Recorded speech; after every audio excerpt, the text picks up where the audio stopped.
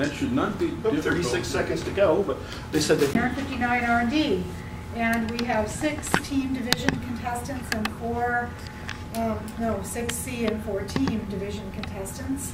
And as in previous years, the speaker will get 10 minutes to present, and we'll have five minutes for questions from the judges, and if we still have time, we'll have question time from the audience. And uh, our first speaker tonight is, needs no introduction, Robert Alway.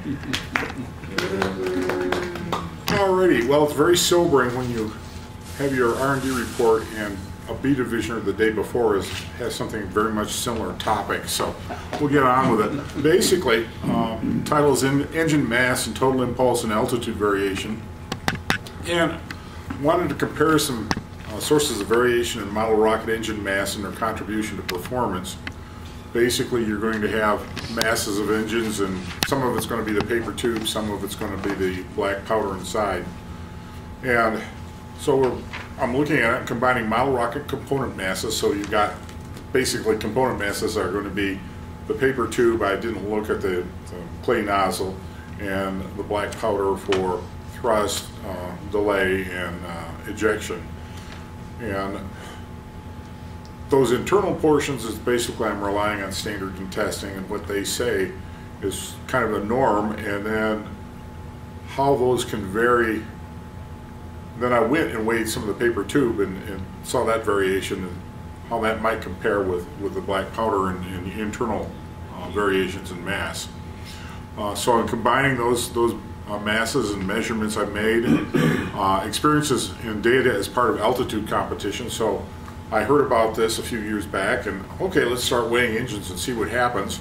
And I've flown that into a few competitions with weighed engines since then to see how that would work. And previously, Peter and I, as Bumbling Brothers, um, uh, looked at some piston impulse changes, and one of the things we did, instead of just looking at altitude with the pistons, was what that meant in terms of total impulses of your engine, and we actually modeled, instead of a C engine or a B engine, a B.1 engine or a B.9 engine to see how those total impulses compared uh, and what they would model uh, electronically as altitudes. So I use cardboard components. By that I mean things like the paper tubes, couplers, rather than actual engine tubes is, is uh, uh, surrogates for actual uh, engine casings. So these are the reports I had looked at. Of course, ours, uh, where I looked at the differences in, in uh, total impulse of engines to compare with altitude changes as a model for what our pistons were doing. Uh, Ryan Coleman did the things why might heavier motors fly higher. He was attributing a lot of the change to increased uh, eje- ejection delay times because many of the ejection delays were relatively short and this would give more coast time.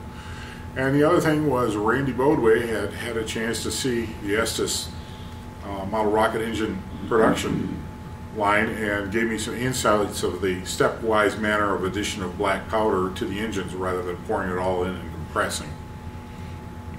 Okay, use digital scale, lots of model rockets and engines, old computer, uh, standard components, and peanut now MicroPeak altimeters, which were giving me altitudes on a lot of things. And there was facilities of NARAM and other flying fields and associated equipment, including their altitude tracking.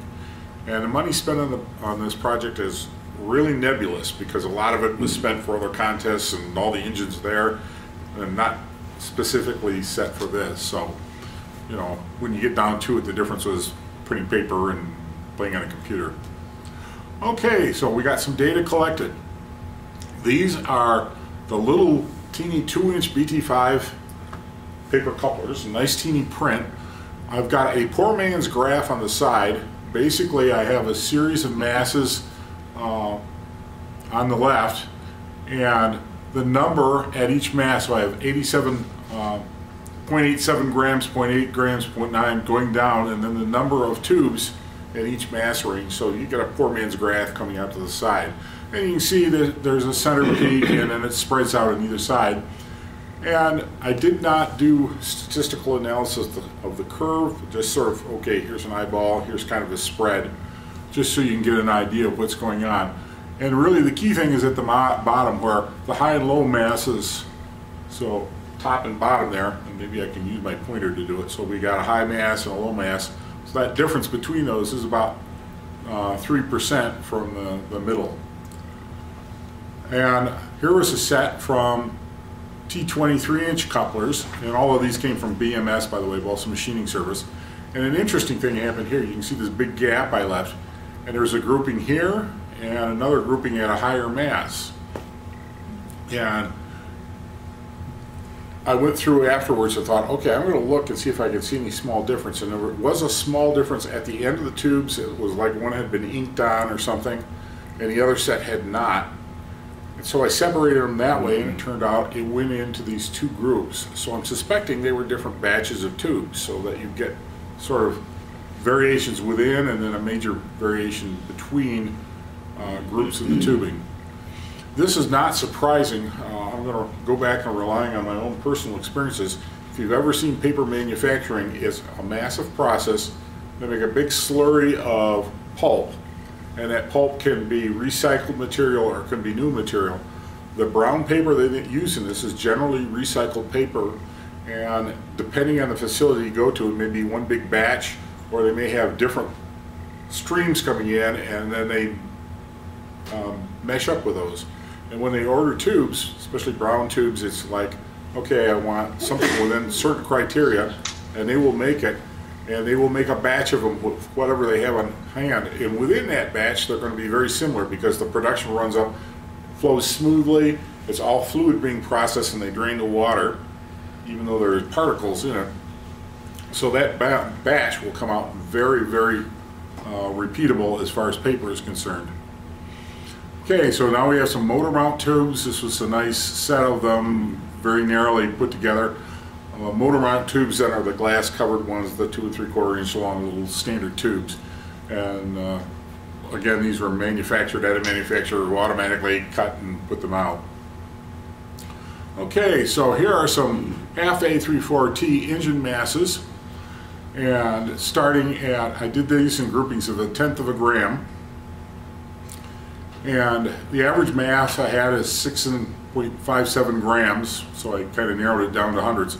And pretty wide range, uh, 4 to 7% from average, depending if you went up and down. And I have all the numbers with zeros except at this high end. I don't have a record of that. These were ones I measured for competition, skimmed off the top ones, and flew those for competition. So those are gone, and I don't have that data. um, uh, but as evidence of, of how well they worked, this was half a altitude at NARAM 55. And my first flight was 222 meters, which had me just barely in second place over a tie for third place at 220 meters using a piston, a real good model. And my second flight was 275 meters. And I looked this at this as a, a, grand measure because I actually beat Trip in this, which is nearly impossible. And you notice I have my, my little asterisk of the Trip Barber gravity well effect. And what happened was is when I had that prepped, Trip comes out, looks at my disaster wires on my tower and neats them all up so they're all perfect and the things go. So I, I attribute a good part of that extra altitude to just him magically, you know, messing with my model. But the, the point being, it was one of the engines that was at that high end. And beyond the variation that you would expect from the William cardboard. and again, we had some other ones, and I strongly suspect neutron fusion uh, kind of was onto the same thing as picking out those those heavier motors. And again, this was one of my 7.x plus engines. It was above seven grams somewhere. Okay, for this NARAM, I did a lot of weighing of C67 engines. Similar sort of thing, grouping in the middle and a couple of them up here. And I actually reserved these engines for this NARAM. And I did come in fourth place uh, in C altitude this time. And considering that I used a shorter piston than I normally would like, but I'm busy being contest director, I figure that that did indeed sort of confirm that that at least didn't hurt things. Two minutes left, Bob. Okie dokie. So anyway, and oops, sometime back we also had, I think it was two years ago, we had um, predicted altitude. And there was a case where I looked down a list of B66 engines, pulled them from the same batch, so I figured their, their casings were coming from the same batch, and um, weighed those and found two engines that were exactly identical down to the hundredth of a gram. And they came within, uh, they were both 153 meters. They were about two feet apart in altitude that bracketed 153 meters. So there was a, a weighing where, uh, and it was the exact identical school rocket that I used in both flights. Results and conclusion, then you can do something with it. Um, there is a variation and only if you go to extremes, I think, does it make a difference. I didn't show Ryan Coleman's, but when he used middling weights, the variation in the paper was probably as big a contribution as any difference in, in, uh, in uh, internal uh, propellant. So, and I should add that part of the, the thing with the propellant is when you get to those extreme ones where it's quite a notch, the propellant goes in batch-wise rather than a flow like the paper does. So it will be a stepwise kind of a quantum jump to that additional mass or at the low end, less mass. So that's kind of the, the gist of it. You're going to get variation. There's about, in a number of these, as much mass of paper as there is propellant. Uh, so those can be an equal balance of those contributions. And if you get an extreme, then maybe it might be both or it might be one or the other, but probably it's both. And both means you've got extra propellant. So that, uh, I will leave it that, and since I'm just about out of time Time's up. anyway. Yes. Thank you. Um, Do you know there are tables published of masses of, of motors or typical masses, like your graphs? Is that for all Uh, the different types of motors? The, there isn't like a graph chart that I've seen now, standards and testing, as I wrote down but didn't have a chance to get into, does have a sort of a standard, they go through and test, and here's, here's what the mass of the, the overall engine is. And in one of the cases, I think it was a C67, all the ones that I happened to purchase the, this year were, uh, or most of them were, I don't know, on the order of a half a gram heavier than that. And it could be that systematically, that the, paper casings that were purchased were heavier, or it could be systematically at Estes Industries, that particular batch they set, and they were getting that much extra propellant. So do you recommend that um, flyers that want to get um, good performance weigh the engines and then take the heaviest engine? I would recommend that, yeah.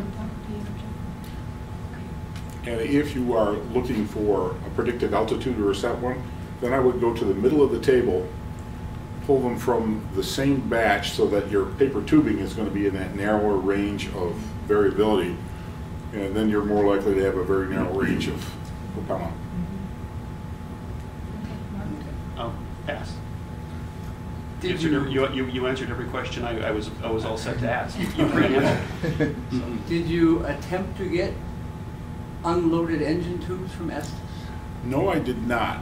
Uh, For the, for the guilty reason, I went through about two different R and D possible reports before this, and they were dying like flies, and so this came up later. And I didn't have time to ask. Questions from the audience? Yeah, Yes, sir. Um, You're the contest director for NARAM 59, yeah, and you entered R&D, yeah, and you entered a bunch of other competitions? yeah. Well, what were you thinking? He wants to kick your Masochistic, What can I say? likes to fly rockets. Awesome, man. No, I, I, I couldn't do that. I was the contest Oh, I director for almost couldn't do it either. 21, and I couldn't compete in anything. Best wishes. Mm-hmm. Anyone else have a question, comment? Okay, all right, thank you Thank you very very much, Bob.